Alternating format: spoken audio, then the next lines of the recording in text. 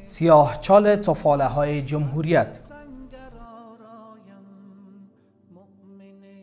در زمانی که افغانستان چنان خانه بیدر و پیکر بود و هر کس و ناکسی در مسائل داخلی آن ورود می نمود گروه های نیابتی زیادی در گوشه گوشه این خاک مشغول فساد و جنایت بودند. در این میان گروه متشکل از افراد رزل و دون مایه نیز وجود داشتند که خود را منتصب به پنج شیر می دانستند. در حالی که ملت شریف پنج شیر از همچون لندغران و مفسدین بیزار بوده و حتی خودشان نیز از ظلم و ستم ایشان به تنگ آمده بودند در آن زمان هرگاه جرم و جنایات انجام می‌شد ناگزیر رد پای لندغران نیز در آنجا وجود داشت. اما اداره کابل نه تنها توان مبارزه علیهشان را نداشت بلکه در موارد از آنها استفاده ابزاری نیز می نمود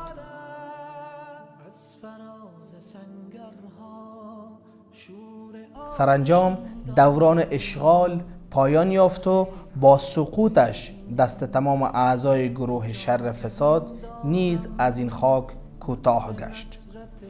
بعد از فتح افغانستان تعداد زیادی از این شرور پیشگان به خاطر برچیده شدن بساط جرم و جنایتشان افغانستان را ترک کردند اما ایده به گمان این که شاید بتوانند در مقابل سربازان اسلامی استادگی نمایند حرف از بغاوت زدند و در مقابل نظام اسلامی دست به صلاح بردند.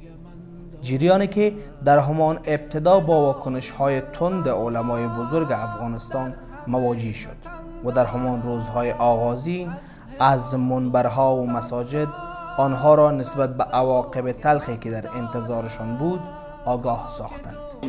کسانی که به تحت نام جبهه مقاومت در گوشه و کنار کار می‌کنن تو جوان مخلص که فریب خوردی.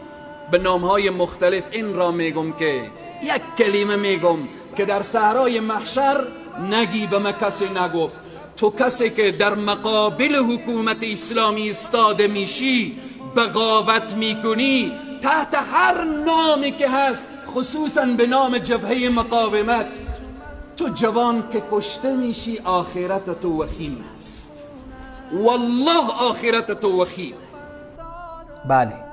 علمای کرام در همان ابتدا مسئولیتشان را ادا نمودند و حکم کسانی که علیه نظام اسلامی بغاوت کنند را با دلایل واضح و آشکار بیان نمودند تا دیگر بهانه برای مفسدین باقی نماند.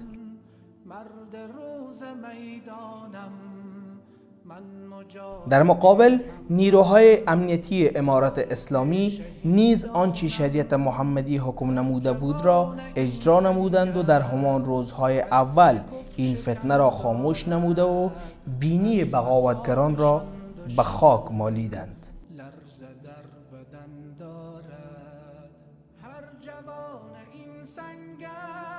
از آن پس جز در صفحات مجازی خبر از بغاوت و بغاوتگران نبود تا اینکه چند روز قبل یکی از قماندانان شر و فساد با چند اوباش دیگر به کوههای بغلان رفته و در یک ویدیوی چند ثانیه‌ای اعلان بغاوت نمودند.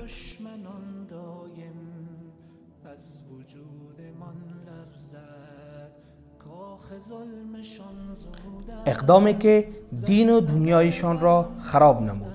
چرا که نیروهای امنیتی همچون سایه تعقیبشان نمودند و بعد از گذشت چند روز آنها را به جزای اعمالشان رسانده و جسدهای بیروحشان درس عبرتی شد برای هر فساد پیشه که قصد مبارزه با نظام اسلامی و استادگی علیه آن را دارد.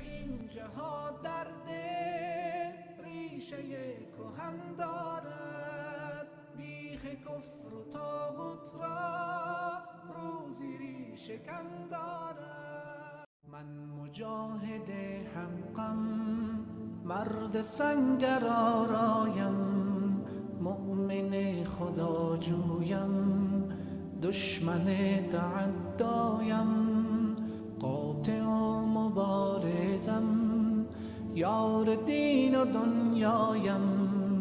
شیر روز پیکارم جنت است من نایم. نره های تکبیرم موج صف شکن دارد. چه چه توفنگ من با جهان سخن دارد. نره های تکبیرم موج صف شکن دارد. चहेतु पङ्गे म